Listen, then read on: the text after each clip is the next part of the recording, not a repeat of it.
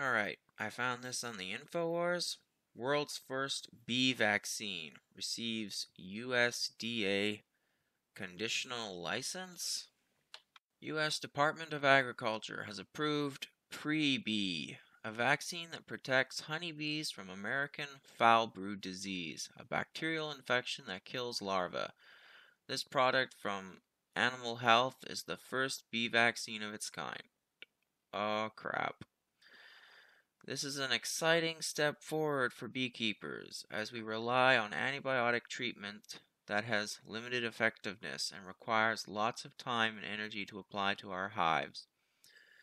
Trevor Tanzer, probably got that wrong, board of member of the California State Beekeepers Association, explained if we can prevent an infection, we can avoid costly treatments and focus our energy on keeping our bees healthy. For the vaccine to work, it must be mixed with royal jelly and then workers feed it to the queen bee.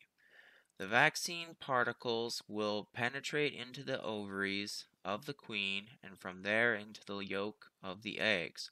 Her offspring will gain innate immunity to blight. According to experts, the use of the drug can significantly reduce bee mortality from this infection and slow down its spread.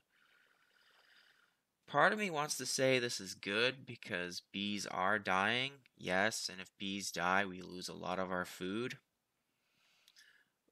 But on the other hand, with all this vax stuff that's been going on with us humans, I'm kind of leery of this they even said there was like antibiotics they could give the bees, but they don't like it because it takes longer, takes more time.